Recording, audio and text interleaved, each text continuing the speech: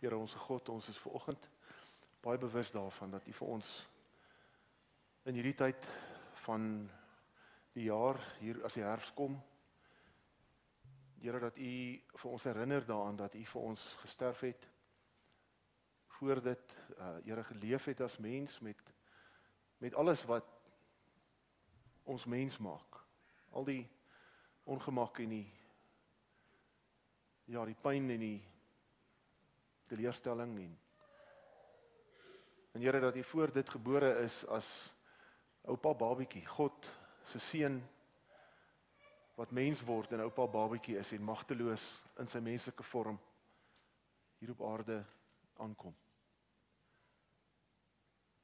En dankie dat ons vanoggend as u geloofsfamilie kan weet Here dat ons is hier omdat u in menslike gestalte hier was vir ons gelei het en vir ons gesterf het.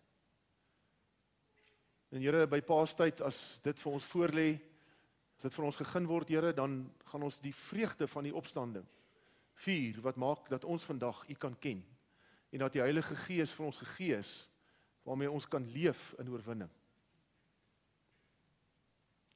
En daarom is dit ons gebed vir oggend as 'n geloofsfamilie Here dat U sal spreek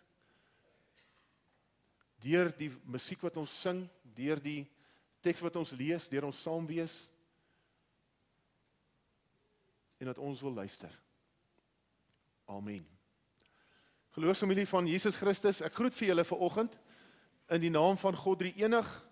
Ouers, oupas en oumas en die kinders, mag jy vanoggend God die Vader se liefde en ons Here Jesus Christus se wonderlike genade en die Heilige Gees se vreugde beleef as ons hier saam is. Mag die Here vir jou seën in ons saam wees vanoggend.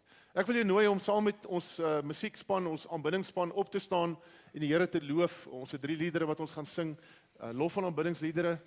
Um fokus op God. Gebruik die woorde as jou eie taal, as jou eie woorde en sing heerlik saam. Dankie Karel.